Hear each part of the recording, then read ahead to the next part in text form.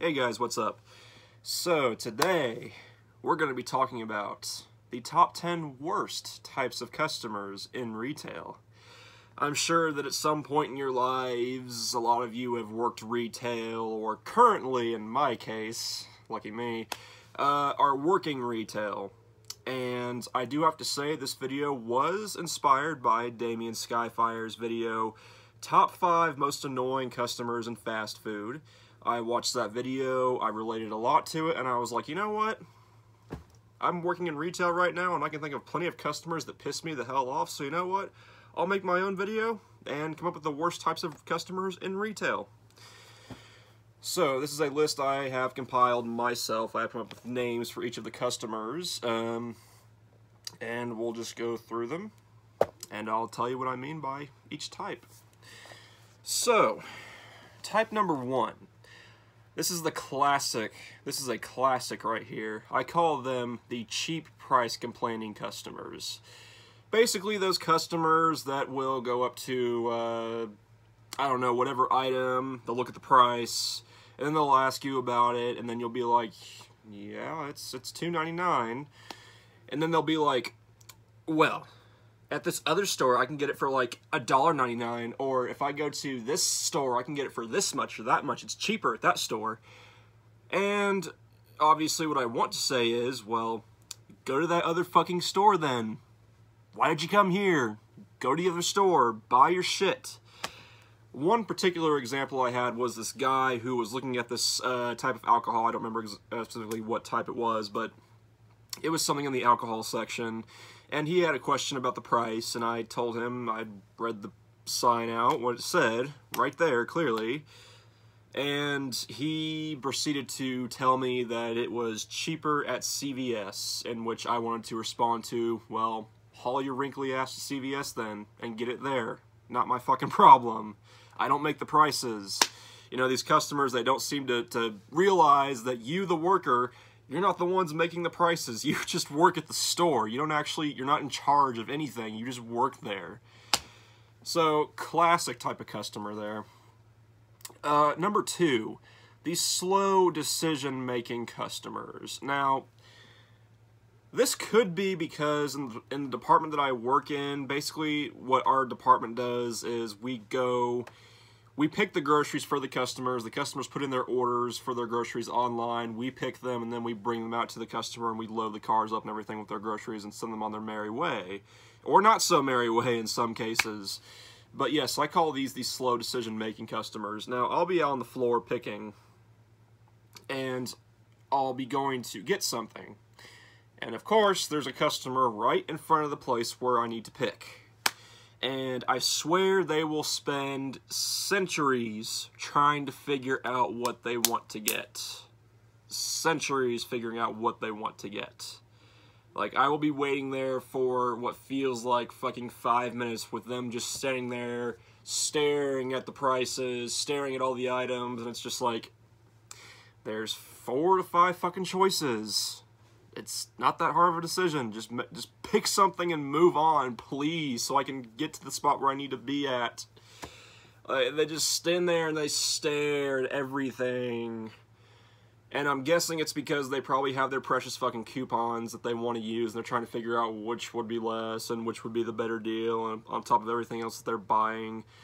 But me personally, I find those customers to be really annoying. Now, to be fair, I think we've all done shop, been shopping as customers ourselves in stores, and we've gone to uh, whatever section, the soda section, the candy section, the meat section, whatever, and we've had to observe and analyze all the choices and try to make decisions for ourselves as as to what we want to buy. But in my case, it gets really, really annoying. So. Type number two, the slow decision-making customers, the SDM customers. Number three, the PA customers, aka the phone-addicted customers.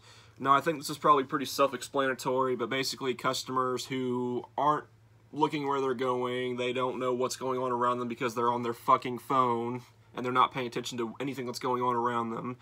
There was a customer, I was picking in the produce section, and there was this customer who was literally he stopped his cart when it was really busy in the produce section stopped his cart was on his phone and was on fucking social media. I saw it over his fucking shoulder. It's a good thing he didn't look up and look at me because i was giving him the dirtiest fucking look ever. If there weren't so many people around i probably would have flipped him off too. Because it's like dude you're taking up space. There's so this is possibly the busiest section in this fucking store and you don't have any consideration whatsoever, so you're just gonna stop your fucking cart and get on your fucking phone and check Facebook and Twitter and all this other bullshit. Dude, seriously, fuck you. You're you're wasting everyone's time. You're wasting my time because you're getting in my way of picking the groceries that I need to pick. Mm. And that, and then the customer, there'll be customers who get on their phone, like there won't be something available, so then they call their fucking husband or wife or, or whoever, hey, they they don't they don't have this, they don't have this. What what what should I get? Like what what? Or they don't even do that. They'll get on their phone. They'll just be talking while they're shopping, and because they're focusing on talking to the person, they move really slowly or they don't move at all. And it's just like you couldn't have fucking settled this before you went out to the fucking store. You couldn't have done this before you brought your fucking ass to the store. God damn it. Get it out of the way with before then, so that way you're not getting in everybody else's way. Please. It's so annoying. So yes, the phone addicted customers. I think that I some of these customers I can make exceptions for, but with this type of customer, I think I have every reason to resent and hate and wish that they could have a brick thrown at their fucking head. Okay. That's number three. Number four, the lazy customers. Now, what I mean by lazy customers is basically they ask where something is and they don't look for it at all. Like, they will probably just like skim over everything, but they won't actually use their fucking eyes like they're made for and actually look for the item that they're looking for. They'll skim over everything and then they'll ask you where something is, even if it's right in their in front of their fucking face. Now, to be fair, this has happened to me too, where I'm looking for something and it's literally right in front of my face. But I mean, they put in no effort at all. I actually had this one customer ask where the ice cream was, and I was literally standing in front of the aisle where the ice cream was. We have three frozen sections, three aisles where frozen items are in the store. I would venture to say they're probably down one of those aisles if you actually bothered to walk around the store and find the aisles with the frozen stuff in them. It's not that fucking hard. It's probably the coldest section there is in the store. Maybe aside from the refrigerated section, but whatever. But yes, yes, and then it, it, doesn't help that there's actually descriptions above the aisles that says, you know, what all is down these aisles, or it gives you like a generalization of what's down these aisles. It'll have like four or five things in the descriptor, and that's another thing. That same that same situation. This lady asked me where the ice cream was, standing in right in front, and I was standing right in front of the aisle, and ice cream is literally in the description of the aisle, and it's just like, are you fucking kidding me? Are you fucking kidding me? Just fucking put a freaking screwdriver in my brain already and give me a lobotomy. Just fucking Christ. Use your fucking eyes, people. It's not that fucking hard. So yes, that, that is what I classify as the lazy customers. The customers who don't look for anything. They say they look, but they didn't really actually use their eyes and actually look for shit. So then you have to stop what you're doing and try to find it for them. So it's just... Ugh. Okay. Number five, the electronic cart customers. Okay, these customers are also ones that really, really piss me off. They're customers who use the electric carts like the really slow, like the, I think they're I think they're pretty slow. The slow moving electric carts that we have at the store. And look, look, I understand that there's some customers who do genuinely need those carts where they can't, they literally cannot walk, or if they're like really, really fucking old, I can understand it. But I kid you not, 80% of the time, 80% of the time, it's literally just for people who are too fucking lazy to walk themselves. Like, like I swear, 80% of the time, it's just like these really, really, really extremely fat, like obese people who are too fucking lazy to get up off their fucking ass and walk around the store and get their groceries themselves. So they have to use these electric carts because they're just too fucking lazy. And every time I see that, it's like, hmm, I wonder why you are the way you are. You're probably not helping yourself by doing this. It's no wonder why you've come to the condition that you're in. I know that's really fucking mean, but honestly, I don't give a shit. Because every every time uh, not every time, but almost every time I see these same people, they will come to a spot where their item they're wanting is They'll get up off the cart, walk over, and grab it, put it in the cart, and get back on. Every time that happens, I am judging that customer so hard. Like I, I am, I am. If I had laser vision, if I had laser beams, they would be hitting that customer. I am judging them so fucking hard. When that happens, like you can walk just fine but yet you're still using that cart. You are so fucking lazy. Like, what what the fuck? I've literally seen customers, like, I kid you not, I saw a customer who had a freaking cast on her leg, who had a crutch, and she was still walking and pushing a cart. Like, if that, if someone like that can walk, can still use their freaking legs and walk despite wearing a cast on one leg and having a crutch, you can walk too and get your fucking shit and not take forever because whether you use the cart or you walk, it's going to be slow either way. Mm, I can't stand that. I really can't. So yeah, the the EC customers, the electric cart customers, that's number five. Number six, the council meeting customers. Basically, you have a couple who will be shopping because for some reason you have to drag your fucking significant other to the store. I know I'm an asshole. But yes, these the, the, the council meeting customers, this the, a couple will be at the store, and then for whatever reason, because they can't decide on something or whatever, they have to stop right in the middle of a fucking aisle or right in the middle of a busy section and just stop and start having a, a fucking meeting or something, like have a fucking conversation about what they want to buy or what they want to do.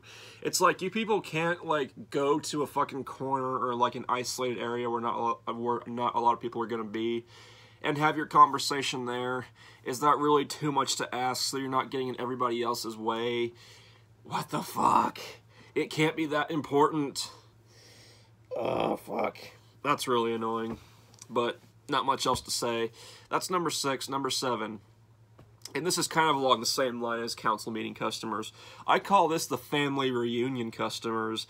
Basically, you get you've got some customers who are walking, you know, doing their shopping, la da da da da, and then all of a sudden, oh my God, hey, how are you? I haven't seen you in forever. Oh my God! And then they start talking and everything, and they start catching up and talking about the fucking old days and whatever fucking else oh, Timmy won the fucking baseball game. Oh, Johnny just bought this new fucking car. Oh, how's the sex life? Like, just, like, so, oh my god. Like, and then they do the exact same thing where they, like, get into a really crowded area, or they stop in the middle of a fucking aisle, or at the beginning or end of an aisle, or both ends of the aisle, I guess it would be, and they take up the fucking aisle, and you can't get through, and you can't enter the aisle, and it's so fucking frustrating. It's like, again, can you not go somewhere else and have that conversation where you're not getting in people's way? What the fuck?